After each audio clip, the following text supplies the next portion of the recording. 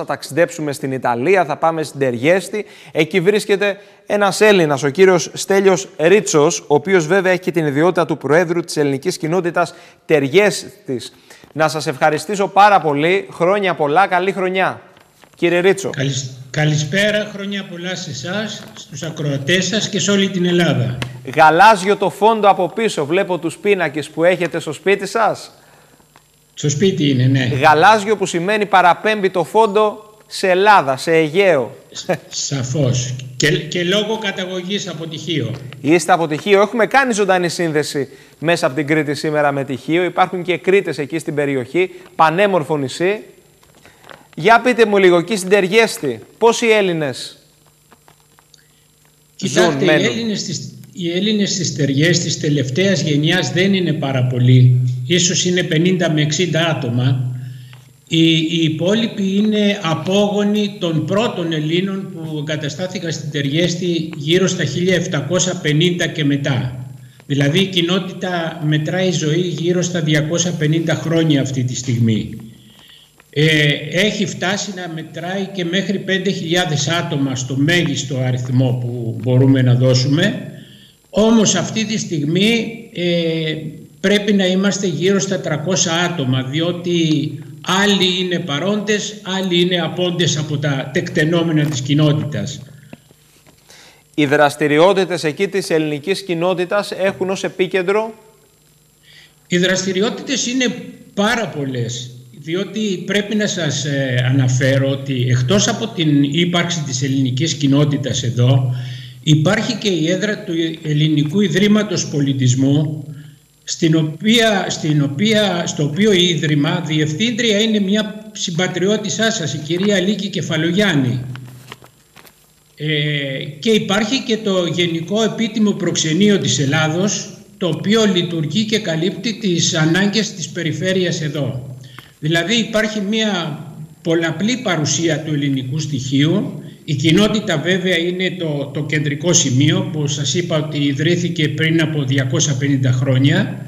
Λειτουργεί βάσει ενός καταστατικού το οποίο ισχύει από το 1784 και ακόμα σήμερα είναι επίκαιρο με κάποιες αλλαγές που έχουν επέλθει λόγω των, ε, της προόδου που έχουμε συνεχώς στις διάφορες καταστάσεις και σκοπός της κοινότητας είναι καταρχήν να διατηρήσει τα ελληνικά ήθη, έθιμα, την ελληνική κουλτούρα στην περιοχή μας. Έχουμε ένα ελληνικό σχολείο εδώ στο οποίο φοιτούν 36 παιδιά και ελληνικό σχολείο για τους ντόπιους ε, ενήλικες οι οποίοι φτάνουν τον αριθμό των 120-130 περίπου. Ε, πρέπει να σας πω ότι αυτή τη στιγμή δεν λειτουργούν ούτε το σχολείο των ενηλίκων ούτε, ούτε το σχολείο των παιδιών λόγω της κατάστασης του κοροναϊού που όπως και στην Ελλάδα άλλο τόσο και εδώ δεν μας επιτρέπει να ασκήσουμε τις δραστηριότητες που είχαμε σε κανονικές Τα εποχές. Τα κρούσματα εκεί στην Τεργέστη κυμαίνονται σε τι ποσοστό; Λοιπόν, η Τεργέστη, η, η περιφέρεια της Τεργέστης αριθμεί 1.200.000 ανθρώπους. Ναι. Τα κρούσματα σε η θετική δηλαδή στο, στον κοροναϊό καθημερινά κυμαίνονται από 500 μέχρι 800-900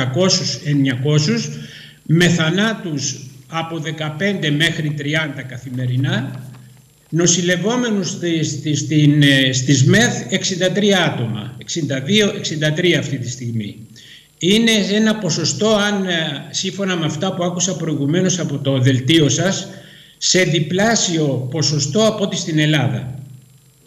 Μάλιστα, σε διπλάσιο ποσοστό. Ναι, δηλαδή αν, αναλογικά αν, αν σκεφτείτε ότι ένα εκατομμύριο 200.000 είμαστε εννέα φορές λιγότεροι από την Ελλάδα και έχει γύρω στα 25 με 20, 30 θύματα καθημερινά βλέπετε ότι η αναλογία είναι πολύ μεγαλύτερη εδώ από ό,τι στην Ελλάδα σε, σε θύματα και σε θετικούς. Δηλαδή τα, άκουσα ότι ε, έγιναν 8.000 περίπου τεστ και βρεθήκανε 450 περίπου άτομα θετικά. Μάλιστα. Στην Ιταλία γίνονται 140 με 150.000 τεστ ημερησίως και δίνουν ένα αριθμό θετικών που αντιστοιχεί στο 10 με 12% δηλαδή από 15 μέχρι 18.000. Κύριε Ρίτσο, ένα... Στην, ε, στην περιοχή έχουμε περίπου τα ίδια ποσοστά. Μάλιστα. Κύριε Ρίτσο, ένα μήνυμα στους Έλληνες που μας παρακολουθούν αυτή τη στιγμή ποιο το είναι; Το μήνυμα είναι καταρχήν να έχουμε δύναμη, κουράγιο, ε, να είμαστε ενωμένοι διότι ε, εμείς παρακολουθούμε τα ελληνικά δεδομένα πάντοτε από κοντά. Βλέπουμε ότι δίνουμε μία μάχη σε πολλαπλά μέτωπα. Δεν είναι όπως εδώ που έχουμε το πρόβλημα του, του ιού και κάποια οικονομικά προβλήματα. Εκεί τα προβλήματα όπως για να μην τα επαναλάβουμε τώρα είναι πάρα πολύ περισσότερα και πιστεύουμε ότι η αντιμετώπιση τους γίνεται μόνο με ομοψυχία, Μάλιστα. κουράγιο, καλή συνεργασία και να αφήσουμε στην άκρη τις μικρότητες και τα πράγματα τα οποία δεν βοηθούν στο να ξεπεράσουμε τις δύσκολες καταστάσεις. Εμείς έχουμε πάντα στο νου μας ότι η Ελλάδα ποτέ δεν πεθαίνει καταρχή και, και αυτά τα πράγματα κάποια στιγμή θα περάσουν και θα ξαναγυρίσουμε πάλι σε πιο καλές εποχές. Μάλιστα. Κύριε Ρίτσο, θέλω να σας ευχαριστήσω πάρα πολύ. Να μας δοθεί η ευκαιρία, αυτό εύχομαι να τα ξαναπούμε. Θα ήθελα να σας πω ότι εμείς έχουμε και μια καλή συνεργασία με το Ναυτικό Μουσείο Κρήτης που έχει έδρα στα Χανιά. Α, όμορφα.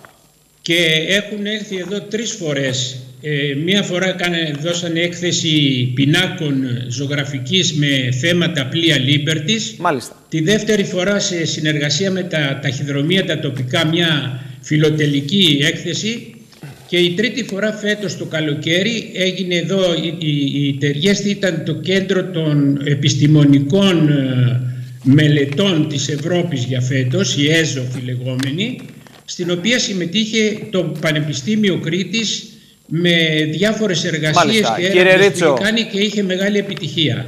Να, να σας ευχαριστήσω πολύ. Πολύ ενδιαφέρον αυτό που μας είπατε με τη συνεργασία. Θα τα ξαναπούμε σίγουρα τους επόμενους μήνες. Να είστε καλά. Όποτε, όποτε θέλετε, εμείς είμαστε ανοιχτοί σε οποιαδήποτε συνεργασία και βοήθεια να θέλετε. Είστε καλά. Όπως μας είπα είναι η Ελλάδα. Να είστε καλά. Καλό απόγευμα. χρόνια πολλά και πάλι. Χρόνια πολλά και πάλι. Και